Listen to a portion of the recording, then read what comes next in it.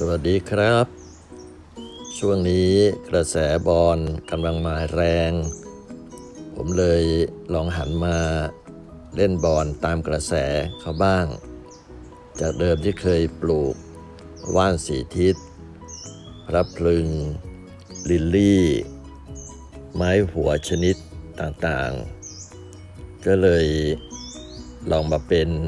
มือใหม่สมัครเล่น มาปลูกบอลชนิดต่างๆ แต่ก่อนที่จะปลูกผมก็ได้ศึกษาข้อมูลมา วันนี้ก็เลยนำข้อมูลทั้งหลายเหล่านี้นะครับมาเผยแพร่เผื่อว่าผู้ที่เป็นมือใหม่สมัครเล่นเช่นเดียวกับผม อยากจะเลี้ยงบอลบ้าง ควรจะทราบ เบื้องต้นในเรื่องบอลนี้ว่าอย่างไร บอลสี ขอประทานโทษ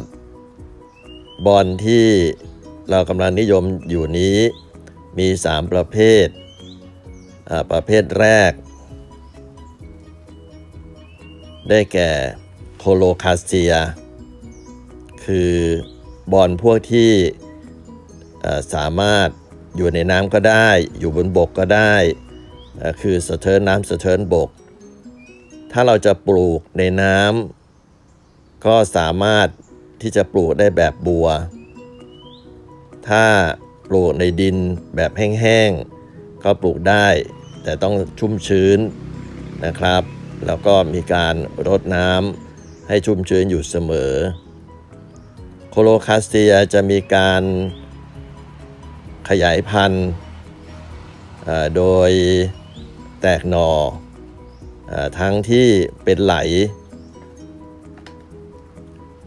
หรือจะเป็นหัว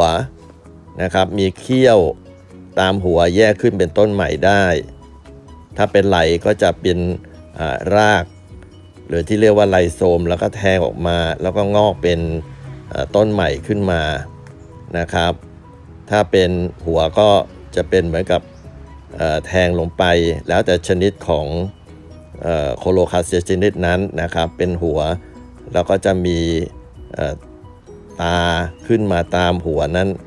ขึ้นเป็นต้นใหม่ คราวนี้พวกที่เรารู้จักกันมาช้านานก็คือเผือก ที่เราได้เคยรับประทานเป็นอาหารนะครับ อันนี้ก็คือเป็นโคโลคาเซียชนิดหนึ่ง แต่เป็นพวกที่ลงหัวที่เป็นเป็นหัว โคโลคาเซียมีหลายชนิดนะครับ ที่ทานไม่ได้ เพราะฉะนั้นอย่าไปเอาขึ้นมาทาน จะต้องศึกษาให้ดีก่อนว่าชนิดไหนที่ทานได้หรือทานไม่ได้ อัธยาศัยของเขานี่จะชอบอแดดจัด เพราะฉะนั้นก็จะต้องเลี้ยงในพื้นที่ที่มีแดดส่องถึงให้ได้เต็มที่นะครับ ใบเขาก็จะมีความสวยสดงดงาม แล้วก็ให้เอ่อกอที่สวยงามได้ประเภทต่อไปประเภทที่ 2 ก็ได้แก่อโลคาเซีย ไม้พวกนี้ปลูกในน้ำไม่ได้นะครับ จะปลูกแบบอะโลเอ่อจะปลูกแบบโคโลคาเซียไม่ได้ตายสถานเดียว แต่ชอบดินโปร่งโปร่งแดดรำไร แล้วก็ชอบความชุ่มชื้นไม่ชอบแฉะอะโลคาเซียที่เรารู้จักกันมาช้านานก็คือว่านนางกวัก ที่ร้านค้านิยมนำมาวางไว้หน้าร้าน เรียกเงินเรียกทองเข้าร้านเรียกลูกค้าเข้าร้านนั่นนะครับ ที่เรานิยมมาปลูกกันมานานแล้วอะโลคาเซียมีหลากหลายรูปแบบ บางชนิดก็มีรูปร่างปิลึกกึกกือ เหมือนหนวดปลาหมึกก็มีบางชนิดเหมือนอปลากระเบนก็มีนะครับ ก็มีรูปวางเอาไว้ให้ได้ชมที่ท้ายคลิปนะครับ สำหรับการขยายพันธุ์ Alocasia ในต้นที่สมบูรณ์แล้วเนี่ยก็จะมีรากที่มีตุ้มกลมๆที่ปลายราก ที่เรานิยมเรียกว่าไข่ ไข่ Alocasia มีบางชนิดมีราคาแพงมาก การที่จะแพงมากหรือแพงน้อยก็ขึ้นอยู่กับว่าอะโลคาเซียชนิดนั้นจะมีความนิยมแค่ไหน ถ้าเป็นไม้ด่างอย่างเช่นพวกช้างด่างต่างๆ เหล่านี้นะครับก็จะมีราคาแพงมาก โดยปกติทั่วไปไข่ของอะโลคาเซียก็จะอยู่ที่ 200 ถึง 500 บาท หรือถ้าเกิดว่าแพงมากๆก็จะใบละพันบาททีเดียวเเรียกว่าไข่นกกระจอกเทศ ที่ว่าแพงๆนะครับ ชิดซ้ายไข่ต้นอะโลคาเซียนี่ไปเลย ประเภทที่ 3 นะครับก็คือคาราเดียม ไม้พวกนี้ ก็ได้แก่บอลสี นั่นเองนะครับ บางชนิด บอลสีชอบแดดมากน้อย บางชนิด ชอบแดดน้อย บางชนิดชอบแดดมาก แล้วแต่สายพันธุ์ แต่ก็เหมือนกันคือไม่ชอบแดดจัดมากนะครับ จะทำให้ใบแห้งกรอบได้ ก็ไม่ชอบแดดแบบโคโลคาเซีย ไม้ชนิดนี้ได้รับความนิยมมาช้านาน แต่ถ้าเอ่ยถึงบอลสีแล้ว ใครที่จะไม่รู้จักไม่มี บอลสีที่โตเต็มที่นะครับ ก็จะมีหัวอยู่ใต้ดินบางต้นที่ผมเคย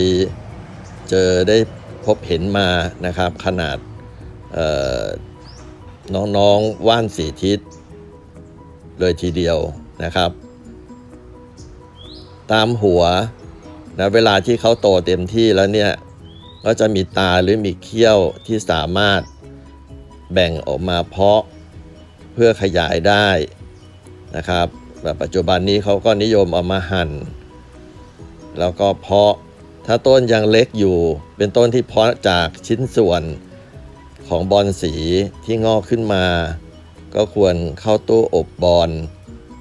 หรือใส่ถุงพลาสติกอบไว้ ซึ่งผมก็ใช้พิธีหลังเนี่ยครับ เพราะว่าไม่มีตู้อบบอลก็ยังเป็นมือใหม่หัดขับอยู่นะครับ ก็ลอง ดูอัธยาศัยเขาไปก่อน ก็เลยซื้อถุงใสขนาดใหญ่มาไว้อบบอลซึ่งเท่าที่สังเกตดูก็ทำให้บอลนั้นโตไว แล้วก็ปราศจากศัตรู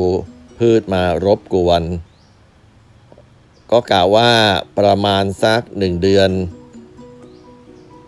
จึงนำออกมาไว้ในที่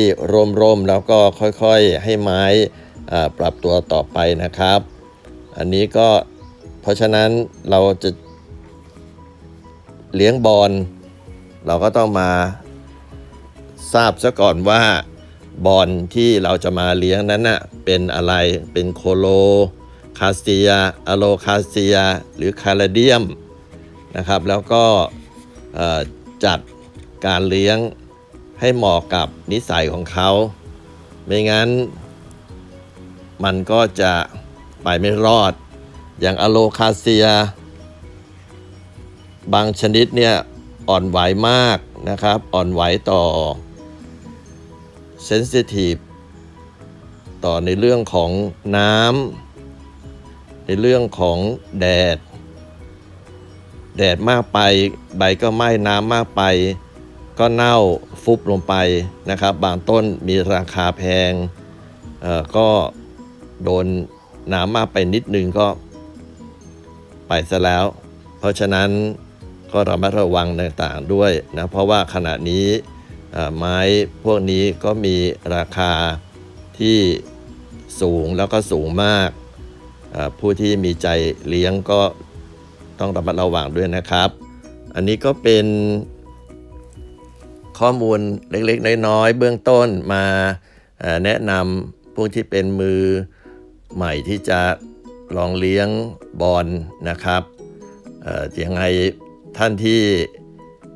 มีประสบการณ์แล้วก็มาแลกเปลี่ยนกันนะครับ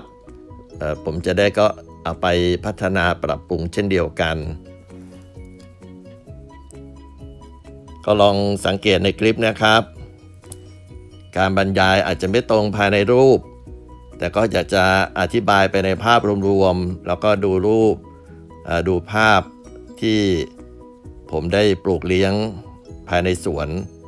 ประกอบไปด้วยครับ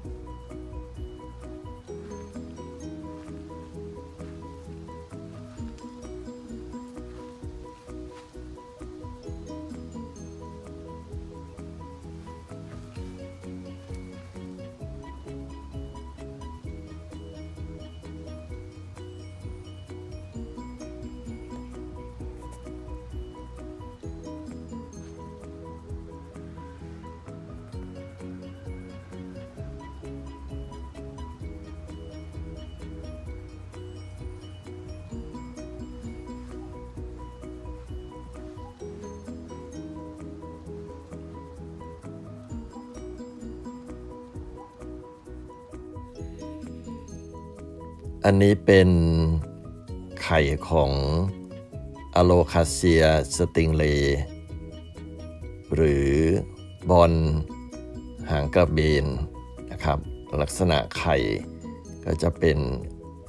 แบบนี้ ตอนนี้เป็นต้นหน่อได้แตกขึ้นมาแล้วนะพร้อมที่จะแยกที่จะไปปลูกเป็นต้นใหม่ ต่อไป วัสดุปลูกก็ใช้ ให้มันโปร่งๆนะครับ ผสมแกลบขาวกับกาบมะพร้าวสับ ให้เยอะดินนิดหน่อยนะครับ ให้เขาละลายระบายน้ำได้เต็มที่แล้วก็ให้ชุ่มชื้น แล้วพอเวลากระถางแห้งแล้วเราค่อยรดน้ำอีกครั้งหนึ่ง ไม่ต้องรดน้ำ เป็นประจำทุกวัน